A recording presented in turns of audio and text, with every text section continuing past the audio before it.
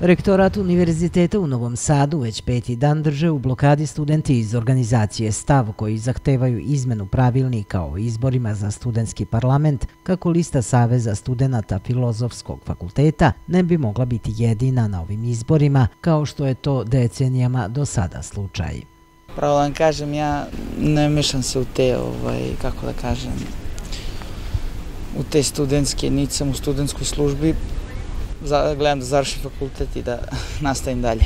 Pa iskreno ne slažem se baš sa tim jer mislim da studenti treba imati neka prava i svakako da to treba da naravno se odbaci. Ne znam zašto se blokira iskreno. Studenti stava su, podsjetimo, u utorak nakon razgovora s rektorom Dejanom Madićem postigli načelan dogovor o tome da će doći do pregovora o mogućnosti ispunjenja njihovih zahteva, ali do kojih do ovog prepodneva nije došlo. Mi smo dobili neku informaciju da predstavnici studentskog parlamenta Filozofskog fakulteta ipak neće da se sastanu sa nama.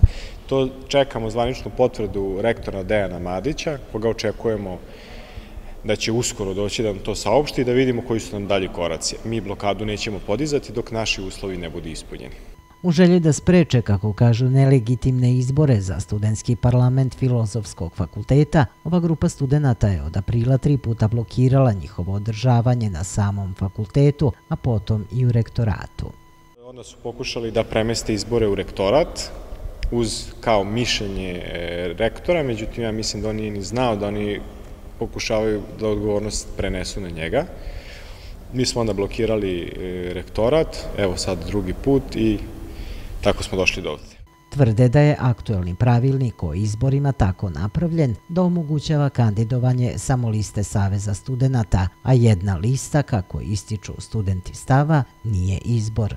Jednostavno, oni su naštelovali pravilnik tako da malte ne niko drugi ne može da se kandiduje. Ili moramo da skupimo preko 500 potpisa, pošto je to 10% od ukupnog broja studenta Filozofskog fakulteta.